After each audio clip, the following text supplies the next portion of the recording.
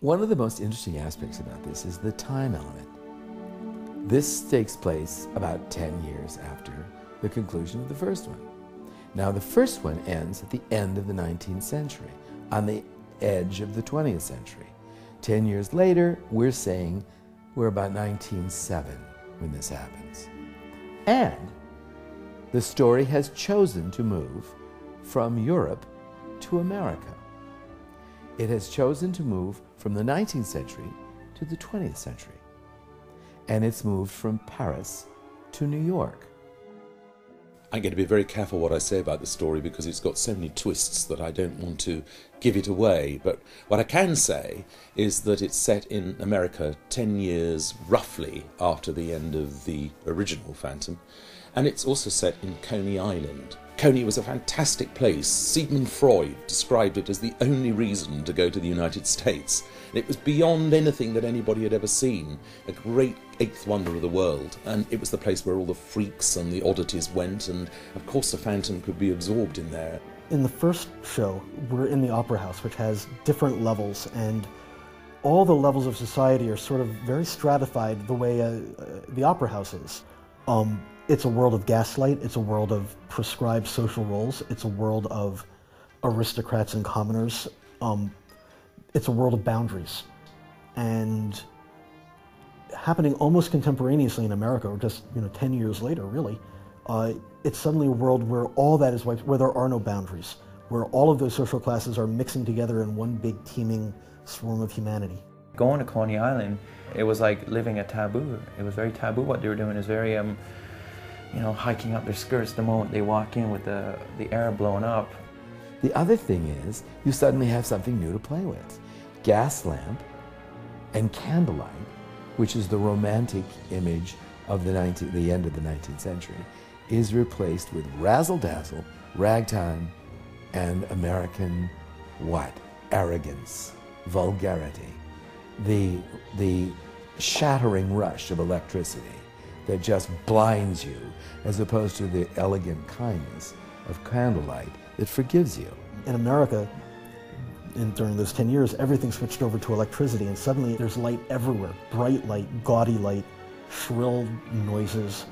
The sensual elements are no longer the muted, rounded tones of flocked wallpaper and gaslight and uh, oak paneling. It's suddenly steel and bright naked light bulbs and uh, more synthetic materials and things that are, are unnatural, that are the, the opposite of the formality of, of the European world at that time. Bringing the characters from that safe world that they understand, that, that has been the same for hundreds of years, that they know intimately where their roles are, and pulling them out of that and placing them to a place where there are no roles creates, creates drama in and of itself.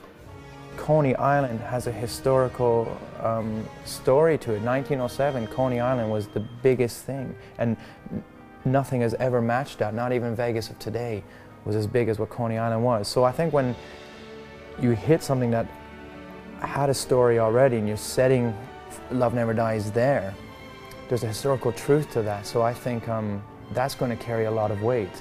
And then also Coney Island, wow, it was very outrageous, ahead of its time. And I, I, I truly believe things have not been seen like that since. Uh, Coney then was like um, some extraordinary kind of Atlantis kind of almost image, you know. I mean, you could see this 30 miles out to sea. It must have looked absolutely amazing, like, because this mirage must have suddenly appeared over the horizon, you know, which was this city, this lit by electric light. Every new piece of sensational uh, machinery had its debut there. It had rides and pieces of showmanship and theatrical illusions that were unrivaled anywhere in the world. Coney base is made up, is kind of scenery really. It's just a big load of fake scenery. It was almost like the, I guess, the Las Vegas of its day, where every building was a spectacular coup de théâtre every place you looked, there was something else amazing to see. You walked from block to block to block, and there was another sight to dazzle your mind. It was sort of a, a place of visceral excitement. People from every class went there. Uh, it was always teeming with humanity from morning to night, and there was always something to see and do and taste and touch and feel. Just a whirl of, of sensual delights, I guess is the word for it. So it, all kinds of stuff there, and such a whirl of light and action and uh, and excitement that it seems like the one of the few places in the world that a person like the Phantom could come and actually get lost in that throng of humanity, where he would not be looked at as something odd or strange or repulsive, but he would just be part of what that society was. Um, one of the few places in the world, as we say in the show, where he could walk among men um, and, and not feel ashamed. And when you think about it that way, it seems like a natural place for him to be, and a natural place for his gifts to be able to come into full flower, uh, unlike in the original where he had to sort of hide everything down in, down in the basement of the opera house. Society beat him down in the first one, which is why he was hidden.